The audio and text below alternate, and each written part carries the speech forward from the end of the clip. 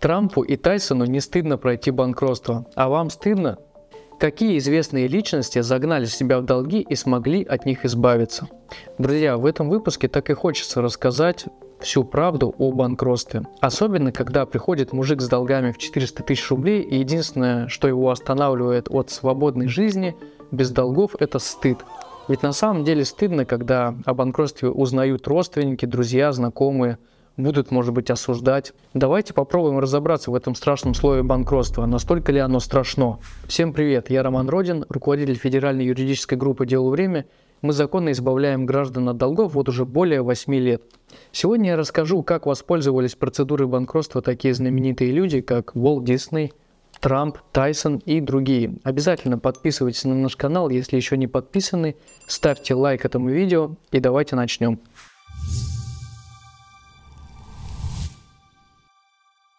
Имя Уолтера Диснея прочно ассоциируется не только с мультипликацией, но также олицетворяет собой пример, как ни странно, успешного банкротства. Начав в 1920-х годах в качестве рядового рекламщика, рисующего плакаты и ролики, рассказывающие о гигиене средств против клопов, да-да, если вы не знали, именно с этого он и начинал.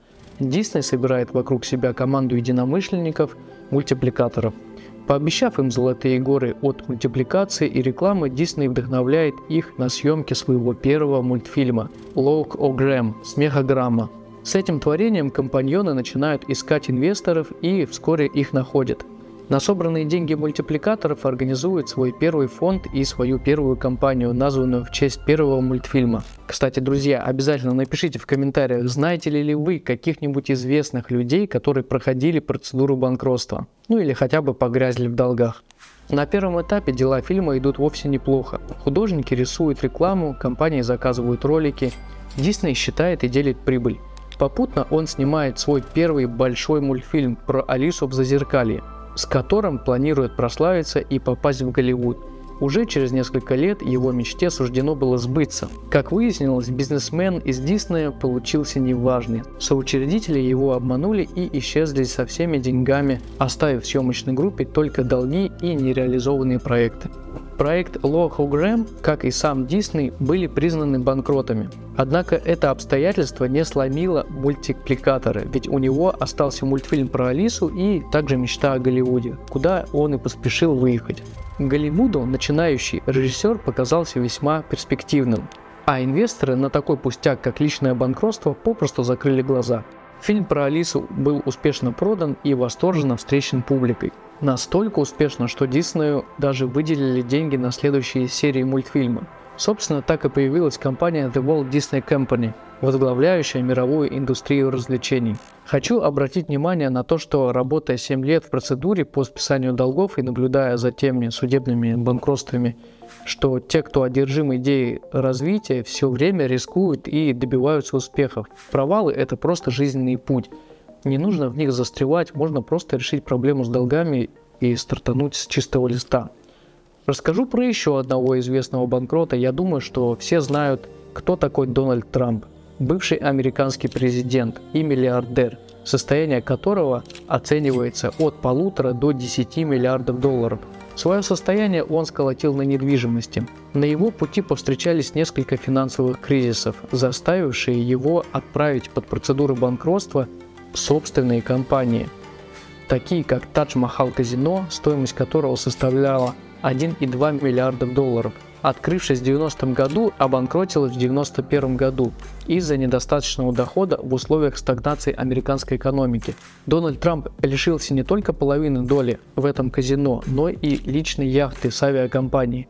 Поэтому, когда люди стесняются сказать, что стали банкротами, играя в казино, я вспоминаю всю историю Трампа. Друзья, вот вы серьезно думаете, что если вы проиграли в казино 100 тысяч рублей, что теперь стоит жить в тени всю жизнь? Я, конечно, не агитирую игроманов, но осознать ситуацию и списать долги навсегда и начать жизнь новую, полноценную, путем оформления процедуры банкротства кажется мне абсолютно нормальным. И причем неважно, долги были из казино или финансовых пирамид. Итак, у Трампа еще был казино-отель Castle Hotels and Casino, этот отель и казино обанкротились спустя год после Тадж-Махала. И Трамп аналогично потерял доли в этом отеле из-за долгов по облигациям. Кстати, сейчас казино живет и здравствует под новым названием «Золотой самородок». Затем были казино Плаза Отель, Трамп Плаза, холдинг Trump Hotels and Casino Resorts. Вот так Дональд Трамп, миллиардер, президент США, несколько раз банкротил собственные компании. Ну и, пожалуй, нужно обязательно еще упомянуть о Майке Тайсоне. Пример того, когда в порядке личная жизнь и спортивная дисциплина, но финансовая дисциплина очень страдает. И это также можно исправить если есть соответствующее желание. Итак, Майк Тайсон был одним из самых богатых спортсменов на пике своей карьеры – но за несколько лет он стал банкротом. Благодаря своему таланту побеждать в сложных поединках он сделал карьеру. Майк Тайсон оставил легендарный след в мире бокса. Конечно, его победы на ринге только увеличивали его состояние. Хотя вскоре обнаружилось, что Тайсон не только постоянно выбивал нокауты на ринге, но с такой же силой тратил свое состояние, и ему не потребовалось много времени, чтобы прожечь почти весь свой капитал. Его чрезмерные привычки тратить и неспособность управлять своими финансами сделали его банкротом. Вот только несколько примеров, как он потратил свой первоначальный капитал в 300 миллионов долларов. Богатая коллекция автомобилей 4,6 миллиона долларов. Многие преуспевающие спортсмены владеют автопарком роскошных автомобилей – но Тайсон вышел на новый уровень, когда потратил более 4,5 миллионов долларов на автомобили. Вот вы представляете себе потратить 4,5 на тачки. Тайсон за свою жизнь приобрел не менее 11 автомобилей и был счастливым обладателем невероятно дорогих и уникальных моделей – он владел ограниченным тиражом Bentley Continental SC, который был одним из 73 когда-либо выпущенных, а также несколькими Ferrari, Lamborghini, Rolls-Royce и другими марками. Далее ванна из золота за 2,2 миллиона долларов, купленная для его супруги. Также его пернатые друзья на 400 тысяч долларов. Ведь Майк Тайсон имел причудливую тягу к домашним голубям, и когда дело дошло до массовых покупок, и содержания начал ощущать, насколько это финансово затратно. Он инвестировал в них огромные деньги. Утверждал, что в любой момент времени у него было более 3000 голубей. Странное хобби, не правда ли? Также у него были настоящие сибирские тигры, 210 тысяч долларов. Все вместе? Мистер Тайсон хочет знать, почему его тигр у вас в ванной.